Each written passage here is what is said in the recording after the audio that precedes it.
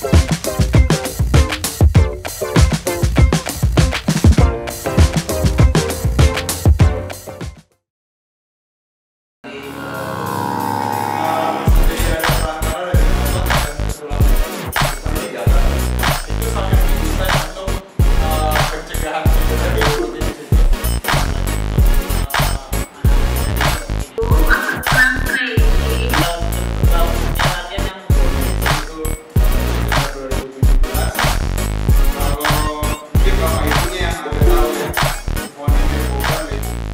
Uh, halo, saya Lutfi. Uh, hari ini membawakan materi tentang penanganan cedera dini, penanganan cedera pada usia dini atau grassroots seperti itu.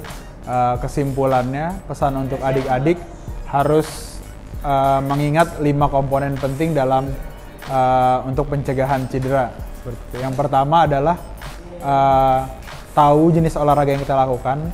Yang saya maksud di sini adalah uh, ketika idola kita melakukan backflip atau atau salto uh, di Champions League, adik-adik nggak perlu mempraktekannya di pertandingan di minggu depan seperti itu. Kecuali adik-adik terlatih dan sudah pernah melakukannya di latihan. Jadi uh, pertandingan itu bukan ajang uji coba tunjuk skill, kecuali adik-adik uh, melatihnya dengan teratur di ketika latihan. Itu yang pertama.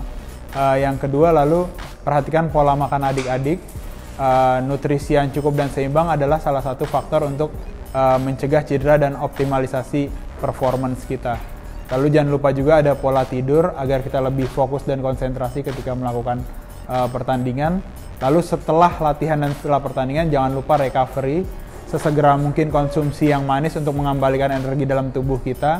Lalu melakukan beberapa teknik recovery seperti ice bath, seperti uh, relaksasi dan sebagainya.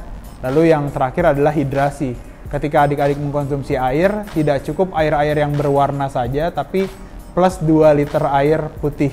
Karena itu yang wajib kita minum. Jadi kalau adik-adik suka minum minuman berwarna, adik-adik tetap punya kewajiban 2 liter air putih tersebut.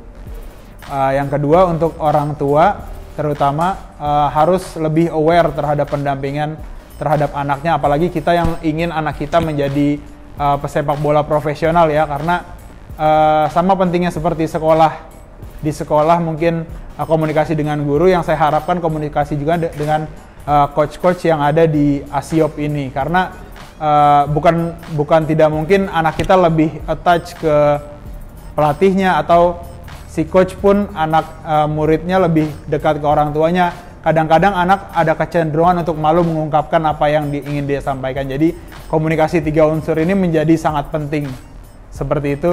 Uh, terima kasih, semoga bermanfaat.